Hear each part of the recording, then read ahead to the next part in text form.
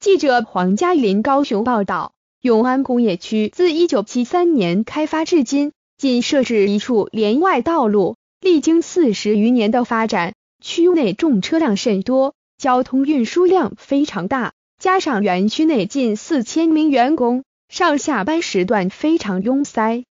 在立委邱志伟积极争取下，中央确定补助三千四百万元的工程款项。协助永安工业区开辟第二条连外道路，目前只差用地经费最后一个主要环节。邱志伟认为，永安工业区急需开辟另一替代连外道路，以解决拥挤的交通状况，保障人车安全等。中央已确定补助近三千四百万元的工程款项，协助永安工业区开辟第二条连外道路，方便工业区连接后方路科交流道。疏解园区上下班拥塞现象，永安工业区也将和陆竹科学园区、本州工业区串成产业园区，增加往返陆科交流道行车效率。然而，开拓永安工业区第二条连外道路的工程，至今仍未见丝毫动静。停缓的主因在于中央与高市府之间对于用地征收费用未达成共识。